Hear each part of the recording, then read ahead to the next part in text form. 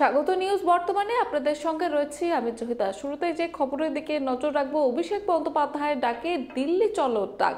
আর ইতিমধ্যে রওনা দিয়েছে বহু তৃণমূল কর্মী, বিভিন্ন জেলা থেকেও সেই ছবি আপনাদের দেখেছি এবং রেলের তরফ থেকে ট্রেন না দেওয়া হলে তারা বাসে করে ইতিমধ্যে রওনা দিয়েছে এবং নেতাজি ইটোর থেকে বাসে করে রওনা দিয়েছে বিভিন্ন জেলা থেকে আসা কর্মীরা এবং ইতিমধ্যেই কিন্তু যাত্রা শুরু হয়ে গিয়েছে। রেলের কাছে বিশেষ ট্রেন চেয়েও পায়নি তৃণমূল এবং শেষ মুহূর্তে বাসে ভরসা এমনটা বলা যেতে পারে এবং শনিবার সকালে পঞ্চাশটি বাস প্রস্তুত করে ফেলেছে রাজ্যের শাসক দল। তারপরে কিন্তু রওনা শুরু হয়ে গেছে। এবং এই পুরো বিষয়টি নিয়ে আলোচনা করব আমাদের বিশেষ প্রতিনিধি সুকান্ত মিত্রের সঙ্গে। সুকান্ত দা প্রথমে যেটা জানতে চাইব যে, এই যে ইতিমধ্যে কিন্তু প্রচুর কর্মী রওনা দিয়ে দিয়েছে। তো কতটা সফল হবে এই কর্মসূচি? কি মনে হচ্ছে? নেতাজি ইন্ডোর স্টেডিয়াম থেকে জেলা ওয়ারি বাস মানে এক এক জেলার জন্য একটা বাস বা একাধিক বাস এই বাসগুলো প্রত্যেকটার অল ইন্ডিয়া পারমিট আছে অর্থাৎ তারা ভারতবর্ষের যে কোনো জায়গায় যেতে পারে।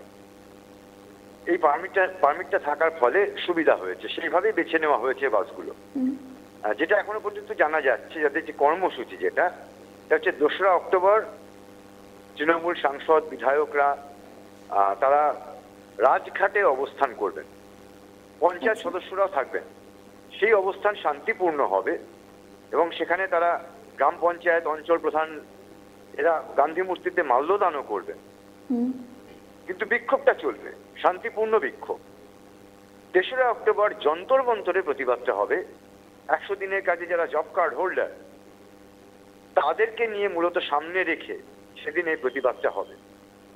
এবার ঘটনা হচ্ছে আমরা যদি প্রেক্ষিত বিচার করি তাহলে মূল দাবিটা হচ্ছে এই বঞ্চনা রাজ্যের প্রতি কেন্দ্রের বঞ্চনা। এই দাবিতে তৃণমূল হাইকমান্ড থেকে শুরু করে আহ, তৃণমূল কর্মী সমর্থকরা সরব হয়েছেন। একশো দিনের জব কার্ড হোল্ডার যারা তৃণমূলের এই অভিযানে দিল্লি যাচ্ছেন তারাও সরব হয়েছেন। ঘটনাটা কি আসল? একশো দিনের কাজ বা আবাস যোজনা বা অন্যান্য আরও বিভিন্ন প্রকল্প যাতে কেন্দ্রীয় সরকারি সাহায্য দরকার হয়। সে সমস্ত প্রকল্পে ব্যাপক দুর্নীতির অভিযোগ কেন্দ্র তুলেছে। এবং আমরাও বিভিন্ন সময় কিন্তু দেখেছি জুহিতা আমাদের যারা প্রতিনিধি সমাজ প্রতিনিধি জেলায় জেলায় তারাও যে চিত্র তুলে ধরেছেন তাকে কিন্তু সেখানকার মানুষ তারা কিন্তু রীতিমতো অভিযোগ করেছেন যে যাদের পাওয়ার কথা আবাস যোজনা বাড়ি তারা পাচ্ছেন না। একশো দিনের কাজ যে পরিমাণ টাকা দুর্নীতি হয়েছে অভিযোগ তুলছেন রাজ্যের বিরোধী দলনেতা শুভেন্দু অধিকারী থেকে শুরু করে রাজ্যের অন্যান্য বিরোধী দল সিপিএম কংগ্রেস যারা আইএনডিআইএ তে আহ, তৃণমূল সঙ্গে জোট করে চলছে তারাও কিন্তু এই একশো দিনের কাজের টাকা বা আবাস যোজনার টাকা দুর্নীতি নিয়ে একাধিকবার তীব্রভাবে সরব হয়েছে। এবার লড়াইটা এইখানে যে এই কতটা রাজনৈতিক কৌশল খাটাতে পারবে তৃণমূল কতটা রাজনৈতিক চাপ তৈরি করতে পারবে তৃণমূল এই দিল্লিতে গিয়ে। তাদেরকে বাস্তবিক কথা তাদেরকে ঠিক কতটা পাত্তা দেওয়া হবে? একেবারে সোজা বাংলায় যদি বলা হয় কেন্দ্রীয় সরকার তাদেরকে ঠিক কতটা পাত্তা দেবেন যেমন শুভেন্দু অধিকারী থেকে শুরু করে অন্যান্যরা বলেছেন শিলভদ্র দত্তর মতো বিজেপি নেতা আমাদের এর আগে আমাদের এই নিউজ বর্তমানে তাকে ফোনে ধরা হয়েছিল। তিনিও বলেছেন যে যারা চোর তারা চুরি করছে তারাই আবার গিয়ে সেখানে সরব হচ্ছে যে আমাদেরকে টাকাটা দেওয়া হচ্ছে না। কেন দেওয়া হচ্ছে না? দিতে হবে। এই অভিযোগকে পাত্তা দেওয়ার কোনো কারণ নেই। রাজ্য বিজেপির কিন্তু এটাই মত।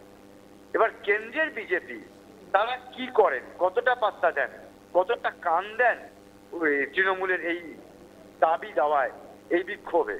সেটা তো সময়ই বলবে জুইতা। বেশ ধন্যবাদ সুকান্ত দা নেতাজি ইন্ডোর থেকে বিকল্প পথে দিল্লি যাত্রা তৃণমূলের অভিষেকের ঘোষণা মতো ট্রেনের বদলে বিকল্প বাসে করে সড়ক পথেই দিল্লি যাত্রা শুরু করলেন শ্রমিকরা। অন্যদিকে রেলের কাছে যে ট্রেন চেয়েও পায়নি সেই জন্য কিন্তু তাদের এই কর্মসূচি কোনো রকমভাবে আটকাতে পারবে না এমনটাই জানিয়েছিলেন অভিষেক বন্দ্যোপাধ্যায় এবং সেই মতো বিকল্প পথে নেতাজি ইন্ডোর থেকে যাত্রা শুরু করলেন তৃণমূল কর্মীরা। 英語ですか